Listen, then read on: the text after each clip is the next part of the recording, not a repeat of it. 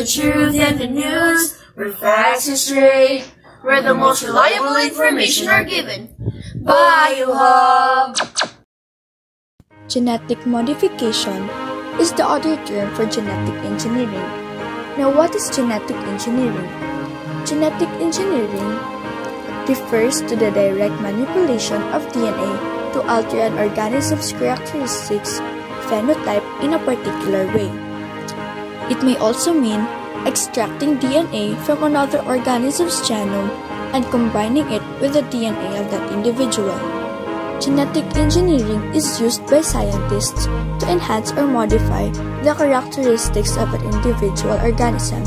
So how does genetic engineering work? To help explain the process of genetic engineering, we have taken the example of insulin, a protein that helps regulate the sugar levels in our blood. Normally, insulin is produced in the pancreas, but in people with type 1 diabetes, there is a problem with insulin production.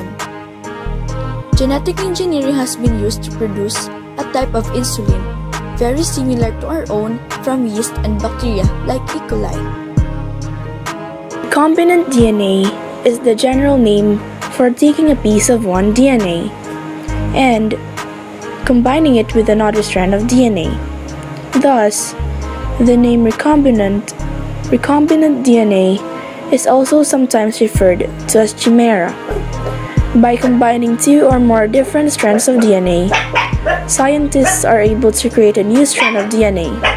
The most common recombinant process involves combining the DNA of two different organisms. How is recombinant DNA made? There are three different methods by which recombinant DNA is made. They are transformation, phage introduction, and non-bacterial transformation. So, we will be talking about non-bacterial transformation. Genetic transformation is the introduction of genetic material into an organism, either by natural or synthetic means. If the host cell is non-bacterial, it can also take up foreign DNA, but this must cross two cellular membranes in order to make it to the cell nucleus, where they can be expressed. This process is called transfection. Even though it is fundamentally the same thing as above, that is, putting foreign DNA into a cell. Maybe they give it to another name to confuse students. It is also possible to introduce DNA into a eukaryotic cell nucleus with the hope that it may integrate stably and therefore heritably. This is the process that is traditionally underlies the creation of transgenic mice. This process is similar to transformation. The only difference between the two is that non-bacterial transformation does not use bacteria such as E. coli as the host. In microinjection, the DNA fragment is injected directly into the nucleus of the cell B or transformed.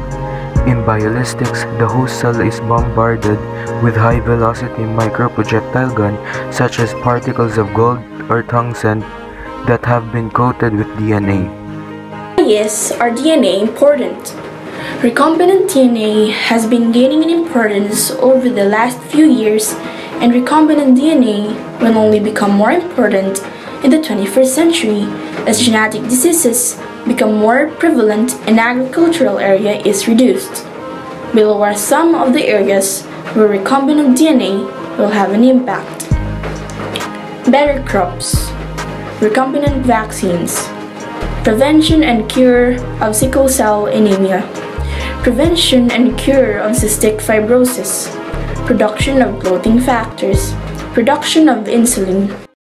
To serve you the truth and the news, where facts are straight, where the most reliable information are given. BioHub!